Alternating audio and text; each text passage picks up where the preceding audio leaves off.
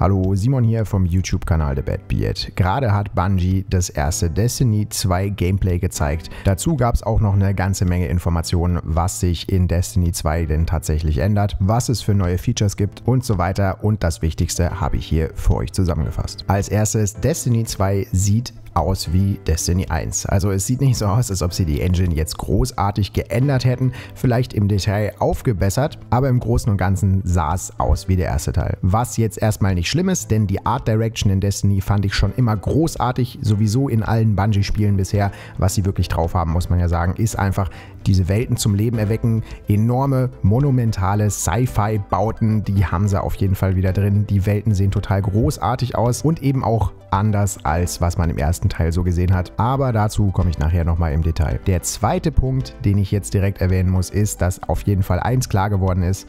Sie haben sich das Feedback der Community zu Herzen genommen. Nun bin ich jemand gewesen, der Destiny ja viel gespielt hat, gern gespielt hat, aber ich war auch nicht leise, wenn es was zu kritisieren gab. Das wisst ihr ja wahrscheinlich, wenn ihr mir schon länger zuschaut. Das eben hauptsächlich aus dem Grund, weil ich so viel Potenzial in dem Spiel gesehen habe und es gab eben einfach Punkte, die noch verbesserungsfähig waren. Und da war sich die Community relativ einig, die meisten dieser Punkte und die größten dieser Punkte haben sie in dieser Präsentation nochmal direkt angesprochen und gesagt, wie sie denn in Zukunft versuchen, das anders zu machen. Und das fand ich wirklich war echt der beste Aspekt von diesem Gameplay-Reveal, mal abgesehen vom Gameplay, dass man wirklich das Gefühl hatte, sie haben echt auf die Community gehört. Zum einen wäre da die Story, wo man in Destiny 1 noch eben Grimoire-Karten lesen musste auf irgendeiner Website, um ein bisschen was von der Story zu kriegen. Und ihr wisst, ich bin ein Fan von dieser Story gewesen, von diesem Universum. Und man hat es einfach echt schwer als jemand, der sich dafür interessiert hat, wenn man wirklich wissen wollte, was abgeht. Das wurde mit den späteren Expansions besser. Da gab es mehr Cutscenes, da wurde mehr ja, mit euch geredet. Ne? Also die Charaktere haben mehr mit euch gesprochen, es gab mehr Exposition, es wurde mehr erklärt. Aber die Story war eben dennoch ein bisschen nebulös und versteckt. Das soll sich jetzt im zweiten Teil ändern. Sie haben wirklich hundertmal erwähnt, wie sehr sie doch jetzt die Story auf jeden Fall im Fokus haben. Das heißt, es wird in den Missionen jetzt Cutscenes geben, die Charaktere reden mit euch. Hat auch so eine Bungie-Mitarbeiterin während dem Stream so lustigerweise in die Kamera direkt gesagt, ja, jetzt gibt es Charaktere, die mit euch reden. Wenn ihr die ganzen Leaks und so weiter nicht mitbekommen habt, zu denen ich auch Videos gemacht habe, die Story dreht sich um die Kabal, eine Fraktion, die im ersten Teil ja wirklich ein bisschen zu kurz gekommen ist, zumindest storytechnisch. Gaul, der Anführer der Roten Legion, übernimmt quasi die Erde und den Turm, also die Heimat der Guardians aus dem ersten Teil. Ihr werdet komplett entwurzelt sozusagen, denn ihr verliert nämlich auch alles, was ihr in Destiny 1 hattet. Das war auch eben ein Teil dieser Leaks. Das wusste man schon lange, aber jetzt haben sie es nochmal gesagt. Destiny 2 ist ein kompletter Neuanfang für alle. In der Story macht das tatsächlich auch Sinn. Es wird eben alles zerstört. Ihr werdet über das Sonnensystem verteilt. Und die Story wird sich dann eben darum drehen, dass ihr das alles, was ihr verloren habt, wieder aufbaut. Quasi so eine klassische Revenge-Story. Ihr werdet auch alle wieder Level 1 sein. Ihr werdet alle eure Licht- basierten Fähigkeiten verlieren, ist auch eben storytechnisch dadurch begründet, dass Gaul den Traveler in Gewahrsam nimmt und so quasi allen Guardians den Hahn zudreht bzw. die Verbindung zum Traveler kappt. Speziell haben sie jetzt noch gesagt, dass jeder der wichtigen Vanguard-Charaktere, also Kate Six, Ikora und so weiter, eine eigene Story bekommt. Die gehen nämlich mit diesem Verlust alle unterschiedlich um und ihr müsst die quasi wieder zusammensuchen, zusammenfinden, die Band wieder zusammenbringen, ähnlich wie in Blues Brothers.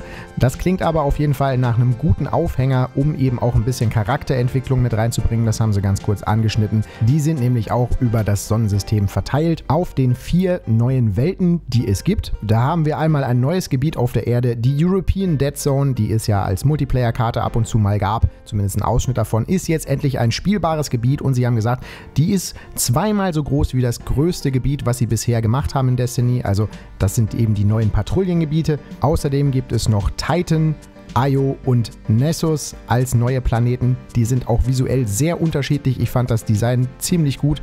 Highlights sind zum Beispiel ein Planet, der komplett von einem Ozean bedeckt ist, wo ihr euch auf Plattformen oder alten Ruinen, Gebäuden und so weiter über diesen Ozean bewegt und ein neuer Dschungelplanet mit einer abgefahrenen Flora und Fauna, die auch direkt vom Cover von irgendeinem Science-Fiction-Buch aus den 70ern kommen könnte. Also da ist auf jeden Fall eine Menge interessantes Zeug dabei. Wie diese Planeten bzw. das Patrouillengebiet aufgebaut ist, hat sich auch grundlegend geändert. Ihr habt jetzt eine Map, die euch zum Beispiel Timings für so Public Events direkt anzeigt. Wenn irgendwas in der Welt live passiert, bekommt ihr das mit. Ihr könnt ohne erst in den Orbit zu fliegen, und das fand ich ziemlich gut, direkt den nächsten Planeten ansteuern. Dann umgeht ihr quasi diesen einen Schritt erstmal im Orbit warten zu müssen, sondern fliegt direkt zum neuen Planeten. Die Map allgemein soll eben auch ausgebaut werden. Ihr sollt mehr mitbekommen, was die anderen Spieler machen, mehr mitbekommen, was da los ist.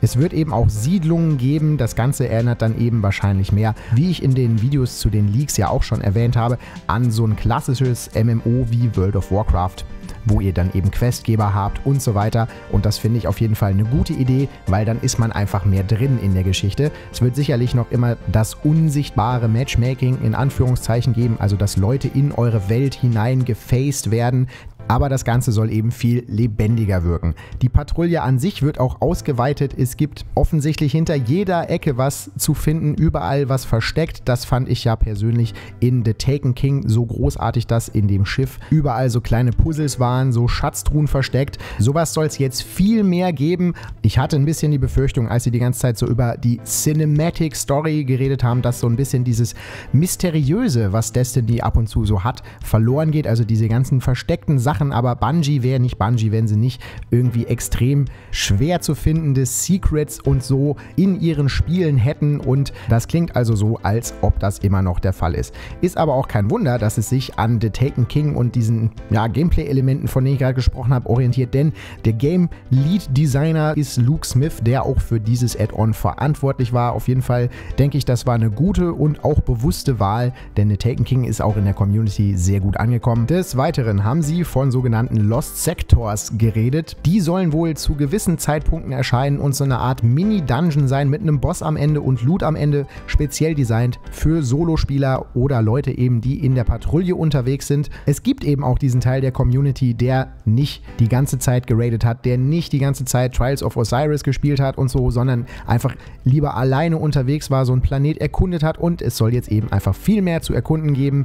An diesen Spielertyp wird also auch gedacht, aber Destiny lebt eben nun mal hauptsächlich von der Community, von den Spielern, die sich in Gruppen zusammenfinden, die Raids jede Woche laufen. Ich habe ja selber auch Community-Gruppen, Bad Beats Crew als PlayStation-Gruppe oder auch als Destiny-Clan, die eben dafür da sind, dass Leute Mitspieler finden können. Eine Sache, die das Spiel nicht ganz so leicht gemacht hat, denn ähnlich wie die Story auf den Grimoire-Karten war die Clan-Funktionalität komplett ausgelagert. Man musste eben auf eine Seite gehen und sich da dann einloggen und so. Das ist ist jetzt auch anders. Clans sind jetzt endlich ins Spiel integriert.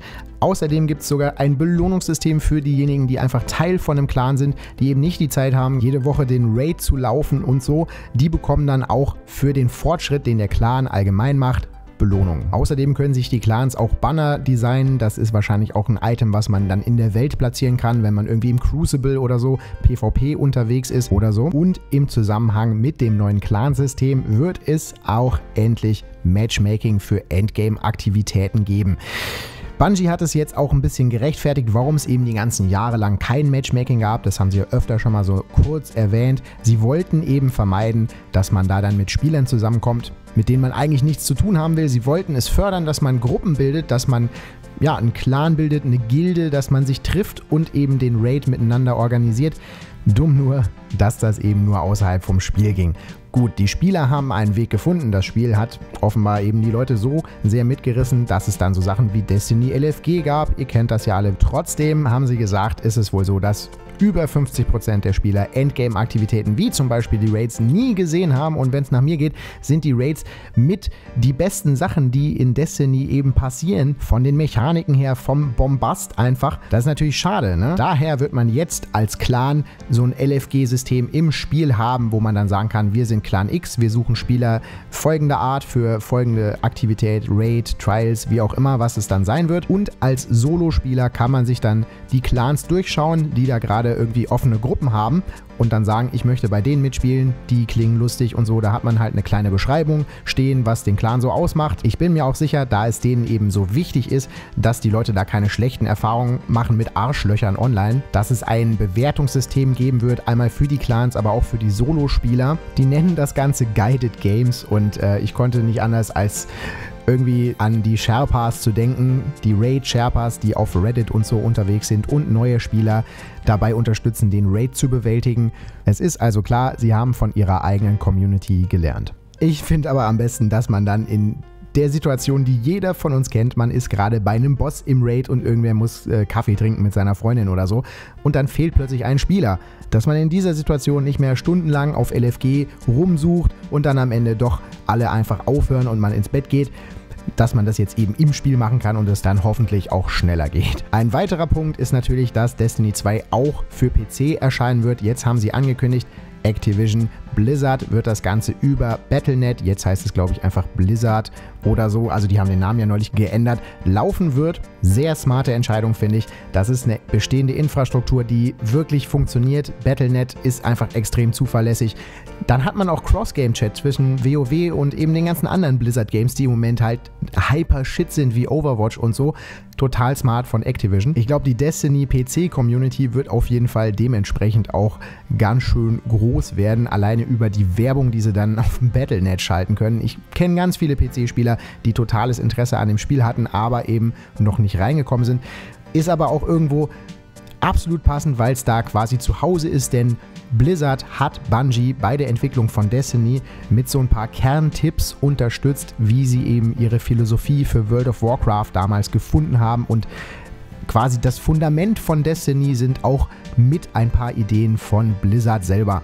Das heißt, ja, Destiny is coming home oder so, wie auch immer. Auf jeden Fall eine smarte Entscheidung. Noch so ein paar kurze Infos am Rande. Es gibt einen neuen Raid, zumindest in der Standardversion von Destiny 2. Natürlich werden dann wieder DLC-Packs, ähnlich wie beim ersten Teil kommen, wo der neue Content drin ist, dann ein neuer Raid und so. Darüber hat man natürlich jetzt nicht genaueres gehört. Ist ja klar, die wollen jetzt erstmal das Spiel an sich ankündigen. Strike-Missionen sind auch wieder drin. Die glücklichen Leute, die jetzt eben beim Reveal live dabei waren, im Publikum, die dürfen das Ganze auch anzocken ihr könnt selber im Sommer in der Beta reinspielen. Drei neue Subklassen wurden angekündigt, jeweils eine für Titan, Warlock und Hunter. Die waren alle mehr oder weniger Waffen- bzw. Nahkampfbasiert, weil das ist offensichtlich gut angekommen. Der Titan kriegt dann so ein Schild und kann Captain America-Style einmal reinhauen und das Ding dann auch werfen und das fliegt so zwischen den Gegnern hin und her, sieht ziemlich cool aus. Der Hunter bekommt so einen Mönchskampfstab, mit dem er alles ummähen kann, sieht nach Kung Fu aus und finde ich richtig klasse. Warlock bekommt ein Feuerschwert, das auch einen Distanzangriff hat, sieht alles ziemlich fancy aus. Allgemein ne, der typische Bombast, den Destiny halt auch schon im ersten Teil hatte, was die Animationen und die Action anging, sieht man ja auch jetzt im Gameplay im Hintergrund. Da gab es auch eine ganze Menge von. Ich werde also die Tage auch nochmal den Stream da in Ruhe durchgehen und sehen, was die da so überall für Easter Eggs versteckt haben, für neue Waffen und so gezeigt haben und dann wahrscheinlich nochmal diese Informationen für euch rausziehen und ein Video drüber machen. Ansonsten findet ihr natürlich viele weitere Videos zu Destiny. Wenn ihr schon länger dabei seid, wisst ihr das auf meinem Kanal, aber auch ganz viel anderen Kram zu Videospielen. Reviews zu neuen Games wie Prey oder Ukulele sind auch vor ein paar Tagen online gekommen. Könnt ihr gerne mal reinschauen. Würde mich auf jeden Fall freuen. Ich hoffe, es hat euch gefallen. Ich werde euch natürlich wie immer, was Destiny angeht, auch auf dem Laufenden halten. Also schaut einfach öfter mal auf YouTube, Facebook, Twitter, etc. mal bei mir vorbei. Da überall oder hier in den YouTube-Kommentaren könnt ihr mich auch gerne wissen lassen, was ihr von dieser Ankündigung haltet. Ob ihr total hype seid für Destiny 2. Jedenfalls vielen Dank fürs Zuschauen und wir sehen uns dann im nächsten Video. Macht's gut.